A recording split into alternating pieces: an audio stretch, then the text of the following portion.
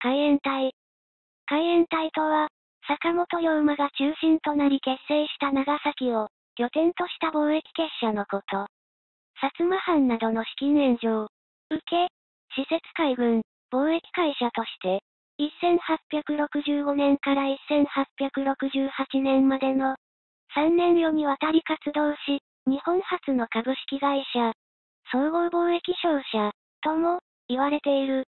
1865年、幕府機関である神戸海軍総連所の解散に伴い、薩摩藩の援助を得て長崎の亀山、現在の長崎市医療林地区において前味となる亀山社中、正式には社中が結成され、グラバー商会と重機の取引を開始。重機などを藩に下ろすなどし、物資の輸送や公開訓練なども、いい、1866年の第二次幕朝戦争においては、長州藩の軍艦に、同場、下関海戦にも従軍した。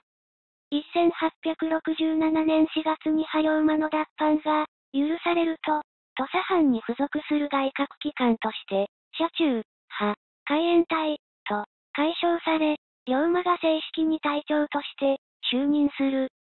色は丸沈没事件において、大藩である紀州藩に、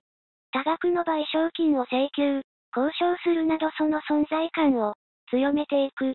そして、武器や軍艦などの兵器を、薩摩藩名義で、長州へ流すなどの斡旋を、いい、険悪であった薩摩と長州の関係修復を仲介。薩長同盟の締結に龍馬と共に、海援隊自体も大きな役割を果たしたと言える。